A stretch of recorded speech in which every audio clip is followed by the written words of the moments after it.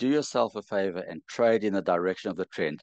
If you don't, it's like swimming upstream. Have you ever tried to swim against a strong current? Very, very hard. As opposed to, let's say, body surfing with just a beautiful, gentle wave. You don't even have to paddle. The wave just takes you. That's what you want. You want the trend just to take you. People often send me charts of very complex systems that they put together. Frankly, it looks like spaghetti on a chart. And then they wonder why it doesn't work so well. And I tell them to just keep it simple, stick to the trend, just follow the trend and trade in the direction of the trend. And people have a tendency to think if it's not complicated, then it can't work. And of course, the exact opposite is true. Normally, the simpler, the better. Let's look at a practical demonstration of this.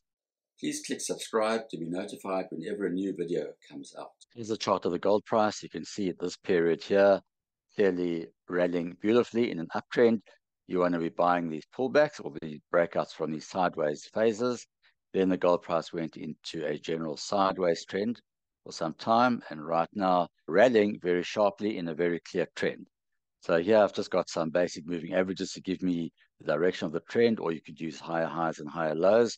But really, trying to pick a top here and either sell short uh, is not going to work because you'd be fighting this very strong trend.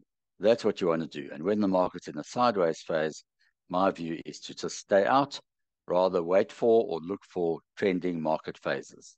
Don't try and buck the trend. It's just not worth it. It's a particular skill to go against a trend, not recommended. Feel free to click the link below to download my free ebook, and you'll also receive details on trainings and mentorship that I offer.